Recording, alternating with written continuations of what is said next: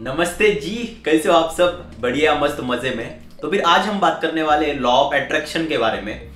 Law of attraction ने मेरे ज़िंदगी में किस तरह से सहायता की? मेरा क्या अनुभव है? मुझे क्या बेनिफिट मिले बेसिकली लॉ ऑफ़ अट्रैक्शन की वजह से? वो मैं आपसे शेयर करने वाला हूँ। मैनी ऑफ़ माई फॉलोअर्स उनको पता नहीं एग्जैक्ट कि लॉ ऑफ़ अट्रैक्शन क्या है। तो जस्ट मैं एक सिंपल सा ओवरव्यू दे देता हूँ कि जो भी चीज़ आप चाह, पाना चाहते हैं, जिस भी चीज़ के लिए आप डिज़ायर रखते हैं, उसके लिए आप मतलब दिल से बहुत ही ऐसे मतलब ऐसे बोलते नहीं कि एकदम ऐसे पाई जेलस पाई जेलस पाई पाई जेलस वाला मन से जब आप उस चीज़ को मांगते हैं, आप यूनिवर्स से यूनिवर्स कह लो, भगवान कह लो गॉड कह लो, या नेचर कह लो ऐसे मतलब दिल से जो चीज़ मांगते हैं, वो चीज़ आपको मिल जाती है। इसी के बारे में मैं आज बोलने वाला हूँ।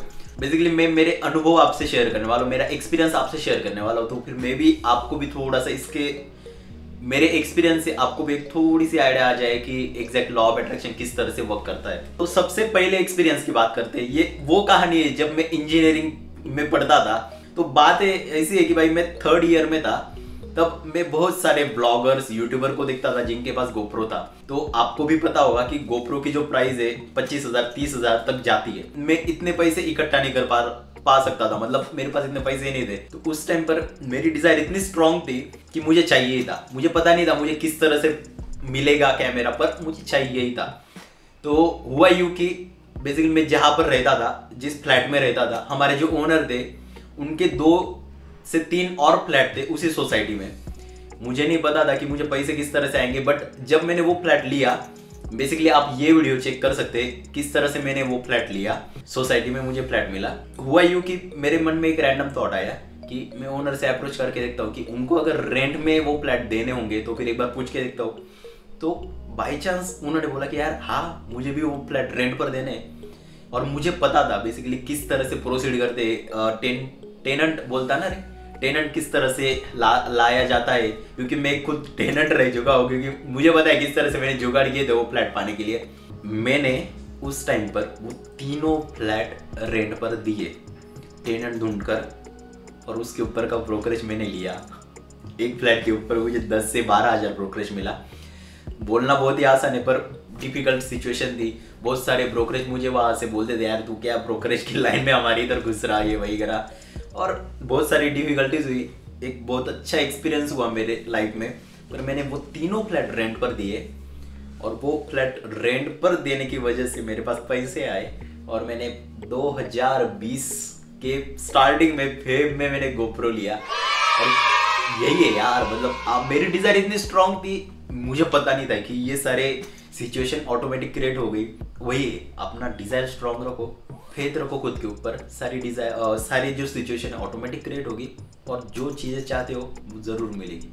Talking about my second experience मैं अभी जिस फ़ील्ड में काम कर रहा है, ये बेसिकली एक वीडियो एडिटर का मैं जॉब कर रहा फ़िल्म मेकिंग की इंडस्ट्री में काम कर रहा। ऑल्दो मैं एक इंजीनियरिंग बैकग्राउंड से बिलोंग करता हूँ तो हुआ यू कि मैं जब सेक थर्ड ईयर के फ़र्स्ट सेम में था, तब मुझे रैंडमली व्हाट्सएप ग्रुप पर एक मैसेज आया we need a volunteer for school promotion तो उसमें बेसिकली ये था कि आपको स्कूल के बाहर बैठकर एक पैम्पलेट पेरेंट्स लोगों को ऐसे दिखाने और उसके लिए मुझे तीन सौ या चार सौ रुपए ऐसे कुछ तो ऑफ़र थी।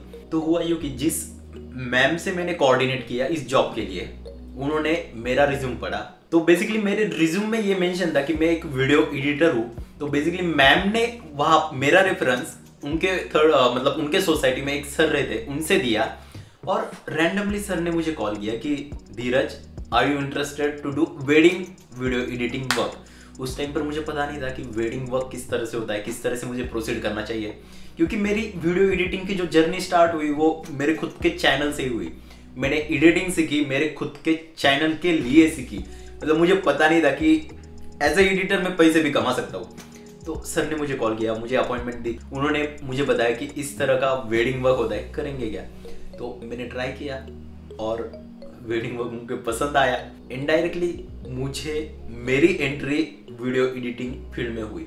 मतलब ये आप समझ सकते क्या यार? मतलब ये स्टार्ट कहाँ से हुआ? मैंने व्हाट्सएप पर रैंडम मैसेज देखा कि स्कूल के बाहर आपको पैम्पलेट बांटने हैं और उसकी एंडिंग कहाँ पर हुई? मुझे वीडियो एडिटिंग के वेडिंग वर्क मिलते हुई हुई। और बेसिकली मेरी वीडियो एडिटिंग की जर्नी है, वहाँ से स्टार्ट हुई।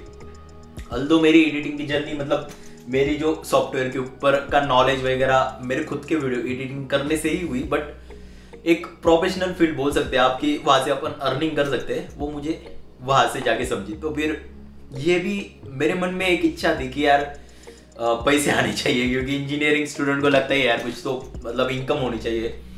तो ये सारा सिनारियो ऑटोमेटिक क्रिएट हुआ जब मेरे मन में डिज़ायर थी। 2020 में जब लॉकडाउन लगा था तब मैं मुझे और ज़्यादा अपॉर्चुनिटी मिली कि मैं इस फ़ील्ड को और ज़्यादा एक्सप्लोर करूँ वीडियो एडिटिंग के क्षेत्र को बेसिकली मुझे पता नहीं क्षेत्र को क्या बोलते भाई क्षेत्र को हिंदी मध्ये फ़ील्ड इंग्लिश मध्ये बोलता ना बोलते चालेल जाऊ द्या तो इस फ़ील्ड को मैंने और ज़्यादा एक्सप्लोर किया।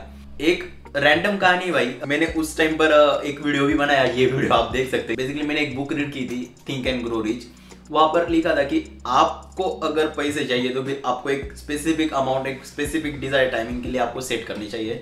तो मैंने ऐसे ही रैंडम थॉट कर लिया, यार, देखते अपना लॉ ऑफ़ अट्रैक्शन कितना काम में आता है, देखते. रैंडमली मैंने बोला, यार, मुझे तीस हज़ार रुपये चाहिए दिसंबर एंड तक. भाई, सच में बोल रहा, सच में। मैंने एक भाई को रैंडम मैसेज करके रखा था, भाऊ, काही काम असेल व्हिडिओ एडिटिंग रिलेटेड तर, मला सांगा. दो तीन दिन बाद उस बंदे का मुझे रैंडम मैसेज आया कि bro I have one video editing related project और उसकी जो अमाउंट थी मतलब ट्वेंटी सेवन के उसके वहाँ पर ही बिलोंग करती थी। तो मैं शॉक हो गया मतलब इस चीज़ के ऊपर मेरा और ज़्यादा बिलीव हो गया और मुझे वो काम मिला। ऐसी एक कहानी है, मेरे मन में एक ऐसी डिज़ायर आई कि यार, मुझे यूएसए वगैरह क्लाइंट चाहिए या आप अगर वीडियो एडिटिंग क्षेत्र में बिलोंग करते तो आपको पता होगा कि जो फॉरेन क्लाइंट है, वो अच्छा पे करते तो मेरे माइंड में भी आया कि मुझे फॉरेन क्लाइंट चाहिए। बेसिकली मैं क्या करता था इंस्टाग्राम पर जो भी फेलो क्रिएटर है, उनको मैसेज करके रखता था, भैया जी, अगर कुछ काम वगैरह होगा तो फिर मुझे बिल्कुल बताइएगा। तो मैं जब डिज़ाइन लेता था तो मुझे मैसेज आ जाते थे, भाई Dheeraj we do have this kind of project would you like to work with us तो यही कहानी है भैया जी, मुझे यूएसए का क्लाइंट भी मिल गया। ये पूरी कहानी है, इसलिए मैं आपको बोलता हूँ, अगर आपके साथ सिचुएशन भी नहीं होगी, वो सरकमटांसेस भी नहीं होंगे, कुछ भी नहीं होगा, फिर भी वो चीज़ आपकी हो सकती है। जब आपके मन के जो डिज़ायर है, वो एकदम ऐसे स्ट्रांग वाले हो, तगड़े वाले हो, एक दिल से जो प्रार्थना बोलते प्रे बोलते वो कीजिए यूनिवर्स से कीजिए, भगवान से कीजिए, यार, मुझे ये चीज़ चाहिए। उसके लिए मैं किसी भी हद तक जा सकता हूँ और वो चीज़ आपको मिलेगी भैया। जी। वीडियो रखिए इस चीज़ के ऊपर फेथ रखिए सब चीज़ें होगी। बताइएगा ये वीडियो कैसा लगा? एक बार लाइक कमेंट सब्सक्राइब अगर इच्छा होगी तो कर दीजिएगा भाई ऐसे कुछ बोल नहीं रहा है काय सांगता है? वीडियो शेयर कर वीडियो शेयर वगैरह भी कर दीजिए शांतनु वो बोल रहे आई होप कि आपको इससे कुछ मोटिवेशन मिले और ये आप अपनी ज़िंदगी में भी इम्प्लीमेंट कीजिएगा। मैं चाहता था कि इस सीरीज़ को एक नाम दूँ चिट चैट विद धीरज पर। मेरे पास ऐसे बहुत सारे रैंडम कहानियाँ है। मेरे मन को नहीं अच्छा लगा कि, क्योंकि वो चिट चैट विद स्टार्टिंग का इंट्रोडक्शन देने वगैरह में थोड़ा सा टाइम कंज्यूम हो जाता है यार। मैं video straight to the point रखना चाहता हूँ, ज़्यादा खिचड़ी वगैरह वगैरह नहीं करना चाहता वीडियो के अंदर। बस, इतना ही था वीडियो बहुत बहुत शुक्रिया वीडियो बघितल्याबद्दल धन्यवाद। ये तो मी गो